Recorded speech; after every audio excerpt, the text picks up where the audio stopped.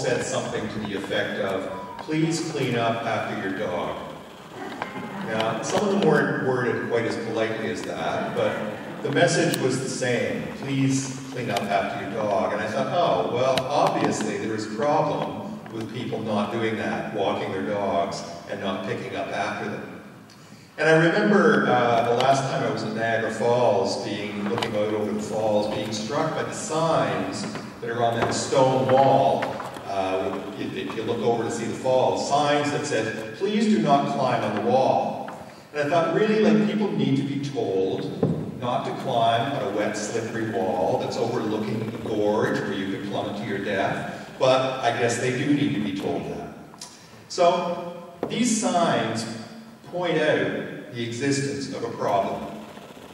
Uh, these signs alert us to something that has happened, or that might happen, or that needs attention, uh, that needs to be corrected, or needs to be avoided.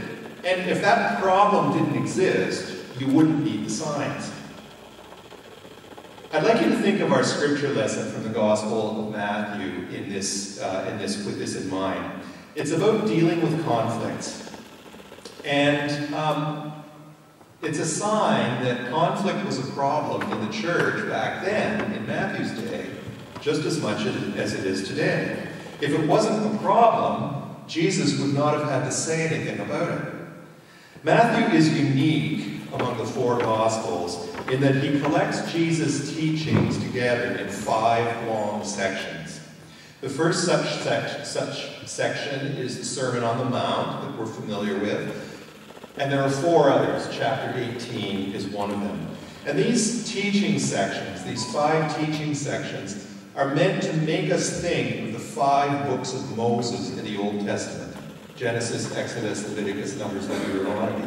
And the reason for that is that Matthew wants us to think of Jesus as the new teacher, the new lawgiver, the new Moses, the new giver of a way of life.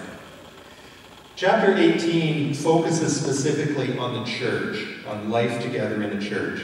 And we get a glimpse of some of the problems that Matthew's church struggled with. And lo and behold, there are many of the same problems and issues that churches struggle with today. The first part of the chapter that we didn't read this morning concerns what it means to be great. Greatness in God's eyes is not the same as greatness in the world's eyes. It seems that Matthew's church confused greatness with having a lot of money, power, influence, or fame. That's not who is great in God's kingdom, Jesus said. If you want to see true greatness, look at this little child. In Jesus' culture, children were the very opposite of greatness. They were vulnerable, powerless, and, de and dependent. They were often ignored and neglected. At the same time, we know that children are innocent and trusting open. In God's upside down kingdom, they are the model of greatness. So be like them, Jesus said. And don't neglect them.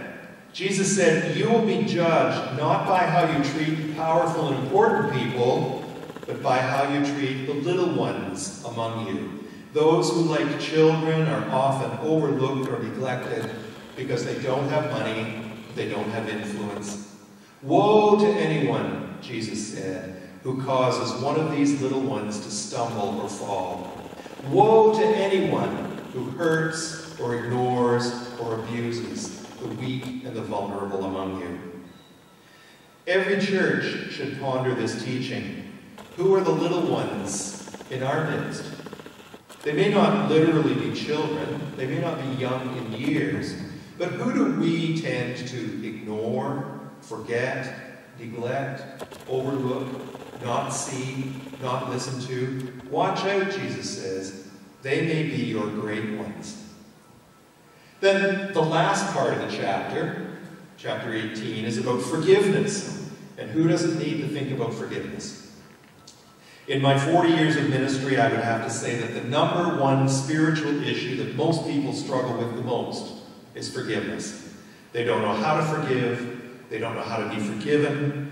They live with a terrible burden of unforgiveness that cripples their relationships and weighs down their hearts and robs them of the joy of living. How to treat the least, how to forgive and be forgiven. These were big issues in Jesus' day. If it weren't, he wouldn't have had so much to say about it. And they continue to be big issues for us today. But I want to turn to the middle part of the chapter that we read from today, and it's about conflict in the church. Now, it occurred to me when I was preparing my sermon, this may not be the best topic to preach about on my very first Sunday with you, but it's what the scriptures gave us, so here we go. Have you ever had a conflict at Westminster United Church? Of course you have. You don't need to tell me, of course you have, because every church has had conflicts. See, we care about our church, we care deeply. And when we care deeply about something, we run into people, we run into other people who care just as deeply as we do, but they have different ideas about what really matters. And that creates conflict. Our passions and our priorities collide. Jesus knew there would be conflict among his followers. He takes for granted that they will hurt one another and sin against one another the New Testament has no romanticized ideal of that perfect, idyllic church where everybody always gets along perfectly. Throughout the New Testament, conflict is just assumed. The existence of conflict. It's just assumed. Now, I find people are sometimes shocked by conflict in churches. I can't believe that this is happening in a church of all places. We're supposed to be Christians, we say. We're better than, aren't we better than this? So conflict makes us sometimes feel like failures. It makes us feel ashamed. But Jesus is clear that his followers are not angels, but human beings, with human, all too human imperfections, blind spots, shortcomings, and emotions that are not always under control. People who think differently and see things differently from us. People who bring their hurts and their hang-ups with them to church. We call the church a family, and for good reason, because conflict is just part of family life. Note that Jesus does not just lay a heavy guilt trip on us to make us feel bad about conflict. He says, look, I know you're going to have conflict. It's unavoidable. It's how you deal with it. It's what you do about it that matters. And Jesus laid out three principles for dealing with conflict. Those principles are honesty, tenacity, and community. First, honesty. The first step, the first step in dealing with conflict is to be honest about it, to go and talk to the person you're having conflict with directly and openly. Now this sounds so basic uh, and so obvious, and yet it is often not at all what we do. Rather than talking directly to the person we, who, has who has offended us, what do we do? We go to somebody else, right? Instead of talking to that person, we find somebody else to talk to, either to gossip or to complain. Do you know what she said to me? I can't believe what he just did. Now, counselors call this emotional strategy triangulation. And uh, this is a picture of triangulation. What we do in triangulation is we create an emotional triangle by bringing somebody else into our conflict rather than dealing it directly. So this picture shows two people in the church, in the church, person A and person B, who are having a dispute, and they each go to the, one goes to the pastor and tries to get the pastor to intervene and sort it out. So very common pattern uh, in the church, but it also happens in all our relationships. And the reason we triangulate like this is because conflict is scary, right? I mean, our physical response to conflict is really a fear response. Our heart beats faster, our, uh, we get shortness of breath and butterflies in the stomach. What if I confront her, we think, and she blows up at me? Even worse, what if I lose control and I blow up at her? What if I say something that I can't take back? And what if by going to this person, I make things worse, not better? What if he won't listen to me? Or worse, what if I find out I have to listen to him? And so it seems safer and less threatening to share our conflict with someone else or to recruit somebody else as an ally. It's easier than to face that person directly. But when we do that, you know, we're really saying that we don't respect the other person as an equal. We're saying that we don't trust one another enough to be able to speak and hear the truth with each other. Now, I have to confess, this is one thing I really struggle with. I am a champion triangulator. Like many ministers, I am famously conflict averse. On the fight or flight spectrum, I am truly on the flight end of the spectrum. And maybe you are too. But the thing is, we need to help one another with this. It's part of being a community of Christ.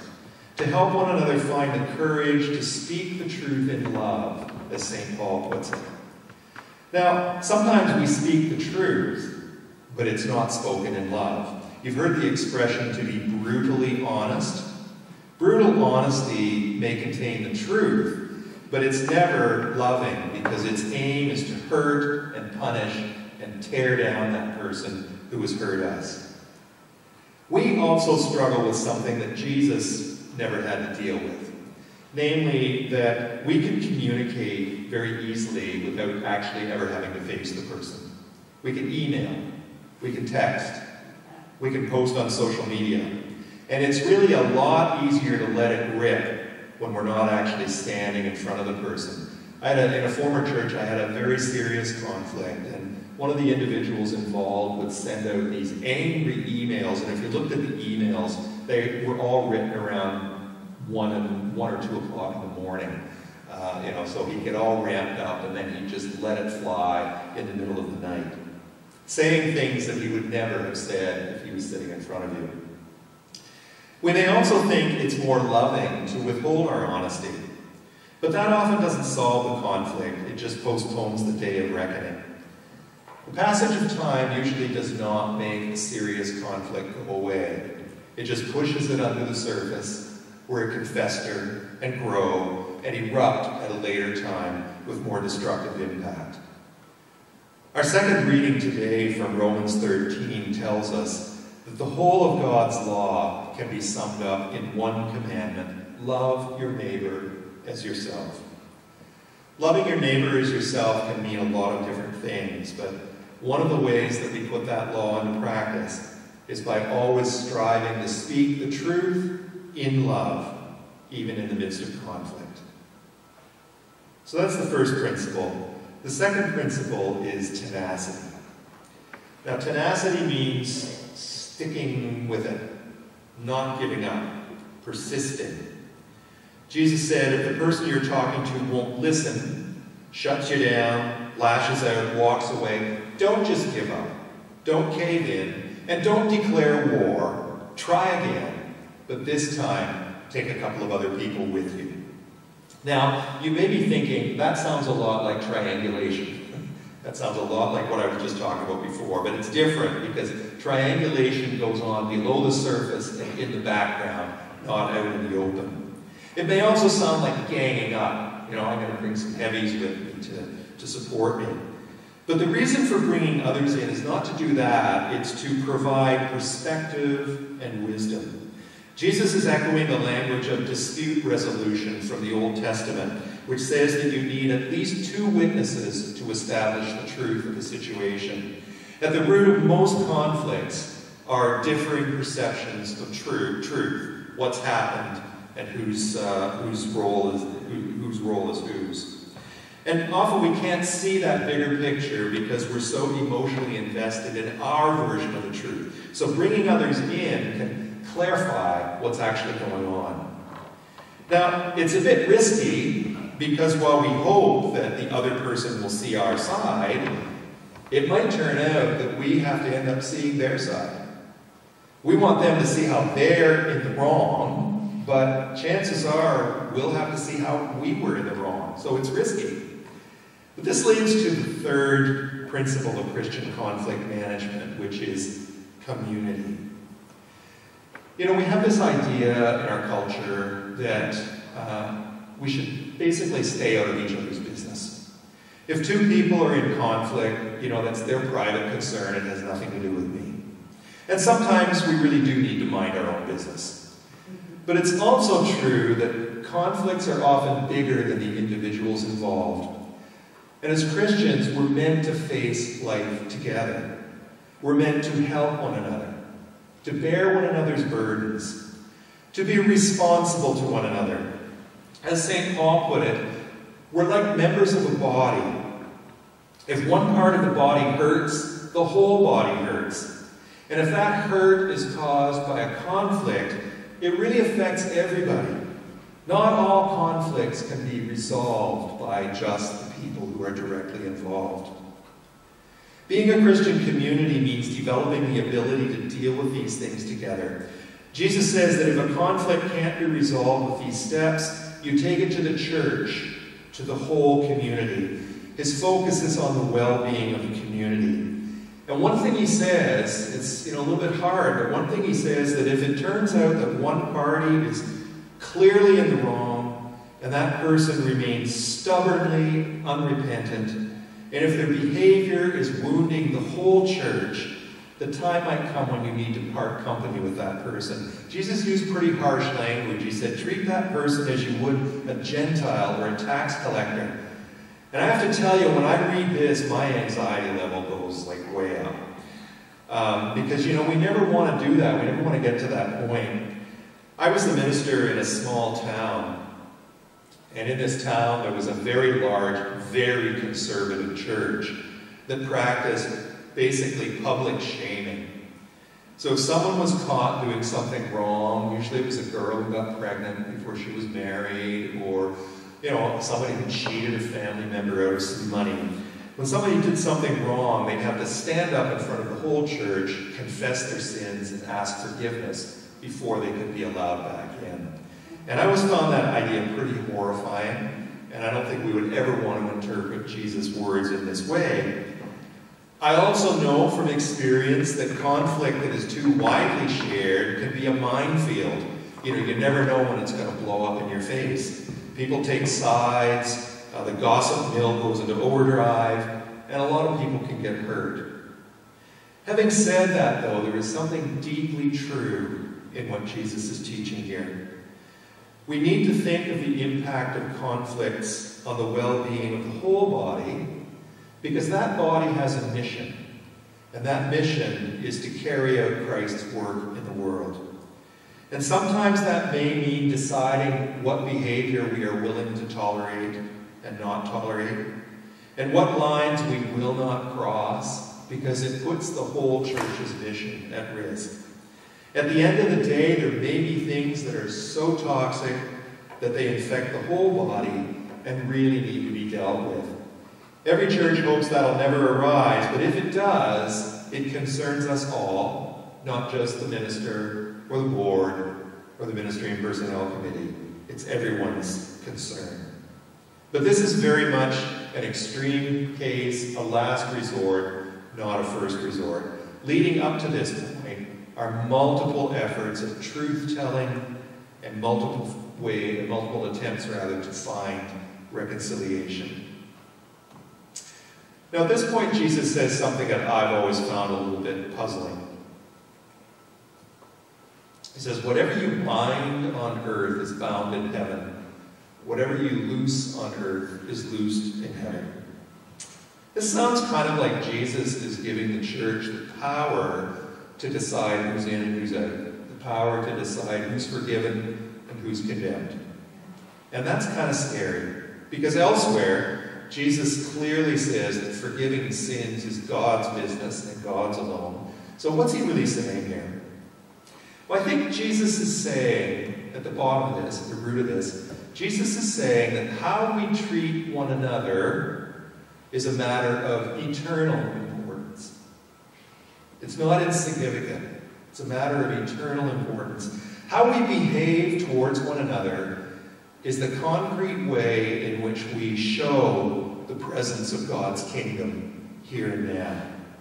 It's the way that we demonstrate that we're following Jesus through our words and, actions. And it's the example that we set for those outside the church that represents Christ to them. Often the church is seen very negatively because of the way that we fail to handle conflict well. We need to set an example of how to settle differences in such a way that it witnesses to those who are watching us and may not know Christ. And then Jesus concludes his teaching with this famous verse Wherever two or three are gathered in my name, I am there with them. What this sentence usually makes us think of is, you know, the close fellowship we experience in the church. Um, we know Jesus is here because we've got that warm, loving feeling towards one another within us. But notice Jesus says these words when he's talking about how to sort out our differences.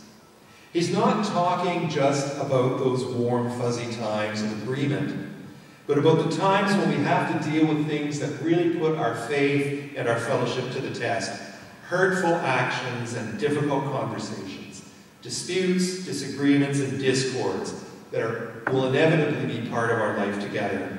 We think Jesus is among us when we're feeling all wonderful and warm and peaceful and harmonious, but it's those times when we struggle to get along that we find out whether or not Jesus really is among us. So, honesty, tenacity, community. This is Jesus' recipe for dealing with conflicts.